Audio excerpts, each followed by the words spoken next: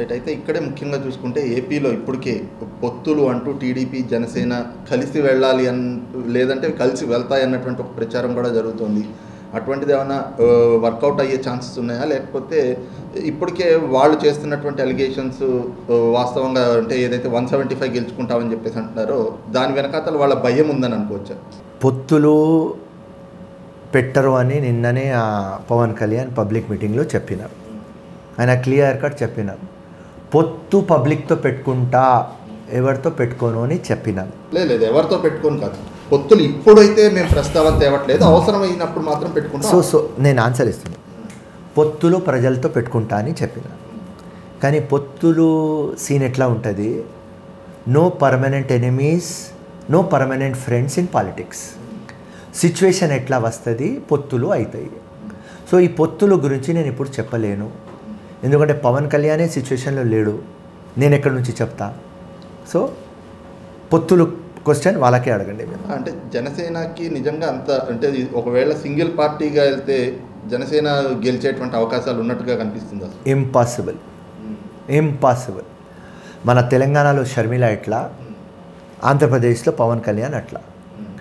పవన్ కళ్యాణ్ ఆంధ్రప్రదేశ్లో కూడా spoil sport. ఇక్కడ షర్మిల తెలంగాణలో స్పాయిల్ స్పోర్ట్.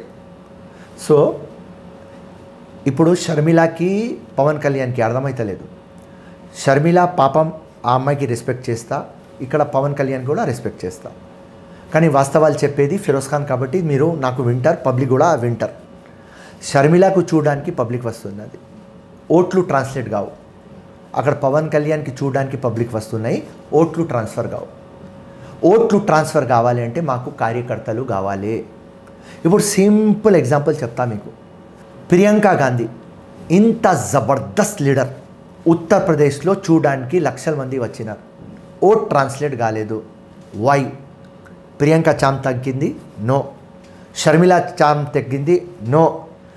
పవన్ కళ్యాణ్ చామ్ తగ్గింది నో. గల్లీలో బూత్లో మన కార్యకర్తలు ఉండాలి. అప్పుడే ఎలక్షన్ మనం గెలుస్తాం.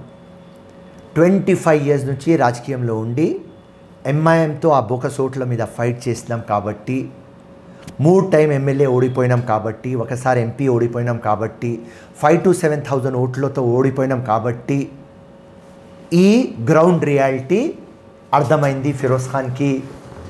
ఇలా మీ ఛానల్లో కూడా ఆ గ్రౌండ్ రియాలిటీ అర్థమవుతుంది. సో పవన్ కళ్యాణ్ దగ్గర గట్టి కార్యకర్తలు లేరు. షర్మిల దగ్గర లేరు. ఆ ప్రియాంక గాంధీ దగ్గర అక్కడ ఉత్తరప్రదేశ్లో లేరు. అదే ప్రియాంక గాంధీ తెలంగాణలో వస్తే జహీరాబాద్ నుంచి ఎలక్షన్ గెలుస్తుంది. ఎందుకంటే కాంగ్రెస్ కార్యకర్తలు ఉన్నారు. ప్రియాంక ప్లస్ కార్యకర్త విన్ విన్ సిచ్యువేషన్ వస్తుంది.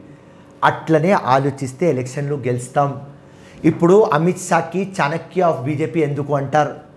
ఎందుకంటే అమిత్ షా ఈ పెన్లో రక్తం వేస్తాడు. దానికోసం చాణక్య సో ఈ కాంబినేషన్లోనే ఎలక్షన్ గెలుస్తాం so Sharmila spoil sport Pawan Kalyan spoil sport Jai Hind Jai Congress